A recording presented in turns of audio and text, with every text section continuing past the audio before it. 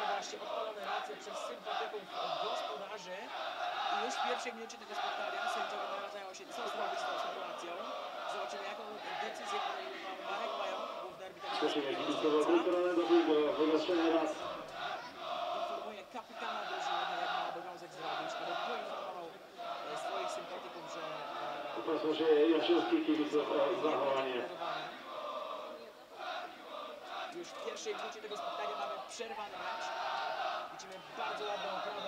Chodzi o treść, duma miasta. Szymon się z gwizdkiem zdecydował się na puszczenie korzyści, bo ta przyniosła naprawdę wymierne skutki gościom.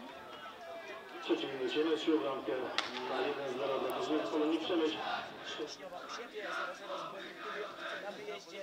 1 do 1 została Nowa Dęba u siebie i ta wygrana z Testercami u siebie.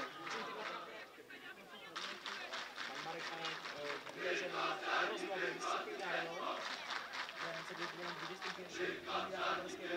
Pokazuje, że w takich sytuacjach nie będzie się patyczkował, że jest to jego ostatnie ostrzeżenie.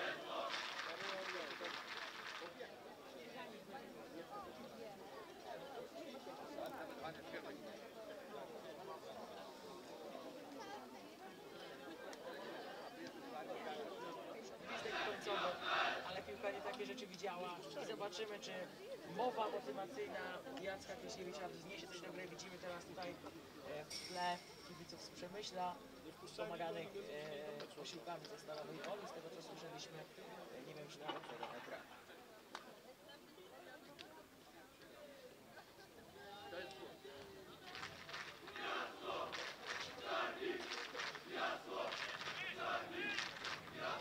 Dziesiąta ósma minuta spotkania,